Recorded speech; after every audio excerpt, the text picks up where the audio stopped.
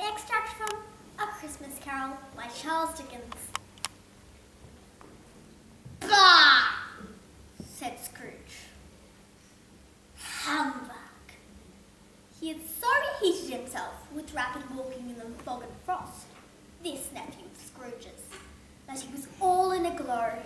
His face was ruddy and handsome, his eyes sparkled, and his breath smoked again.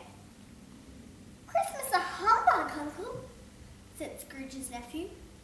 You don't mean that, I am sure. I do, said Scrooge. Merry Christmas. What right have you to be merry? What reason have you to be merry? You're poor enough. Come then, returned the nephew gaily. What right have you to be dismal? What reason have you to be morose? You're rich enough. Scrooge, having no better ready on the spur of the moment, said, Bah! again, and followed it up with, Humbug!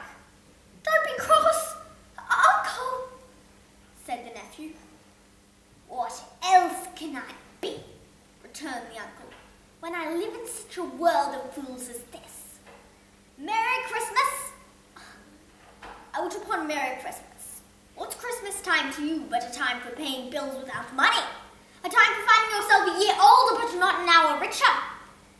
A time for balancing your books and having every item in them for a round dozen a month presented dead against you. If I could work my will, said Scrooge indignantly,